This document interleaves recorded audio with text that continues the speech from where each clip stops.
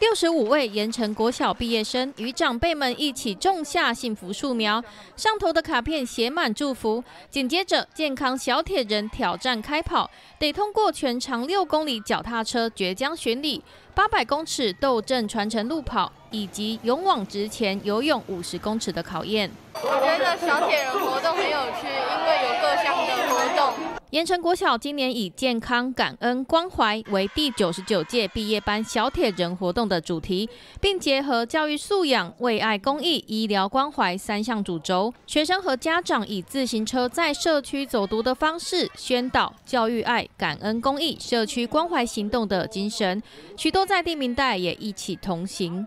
希望说从小运动就开始，未来可以成为一个强健体魄，然后可以成为一个阳光人生的小朋友。所以祝福盐城国小小朋友小铁人三项毕业活动成功。已经举办了第十一年啊，那主要呢是让小朋友透过骑单车、还有跑步以及游泳这三项的运动，来培养他们健康的身心。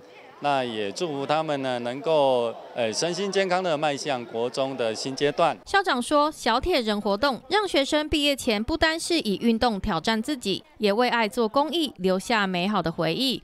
更期盼学生在多元学习后，未来有更完整、更健全的发展。新台特电视李娟荣，台湾高雄采访报道。